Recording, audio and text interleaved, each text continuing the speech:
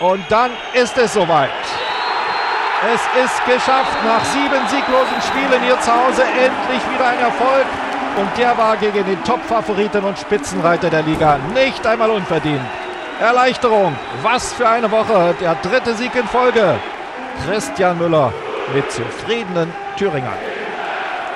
Ich freue mich erstmal eigentlich über eine perfekte Woche, die wir jetzt absolviert haben. Ich glaube, äh, mit ganz, ganz viel Zeit und Kraftaufwand haben wir äh, uns mal was richtig Gutes getan. Und ja, heute natürlich krönender Abschluss. Und ich denke auch nicht ganz unverdient. Ist Jena über den Berg?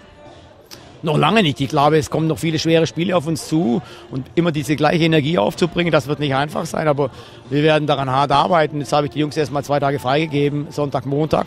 Wir werden Dienstag früh wieder die, die Vorbereitung auf Braunschweig aufnehmen. Und Jena hat mit Leidenschaft gespielt. Ja, sie haben noch nicht mal ein gutes Spiel gemacht, aber das hat gereicht. Wir haben die Zweikämpfe angenommen, haben zerstört, ja, haben ein Tor gemacht, da konnten wir drauf warten und wir haben zugeschaut. Das war die erste Halbzeit so. Wir hatten überhaupt keine Linie im Spiel. Wir haben aber gut dagegen gehalten und äh, von daher ähm, ist es aufgrund äh, der Chancen, die wir auch gehabt haben, äh, nicht mal unverdient. Es war der erste Sieg der Jena gegen die Kickers aus Offenbach, die sich den Ausflug ins Paradies auch ein bisschen anders vorgestellt haben. Zwei Tage frei für einen Profifußballer schon fast ein Weihnachtsgeschenk.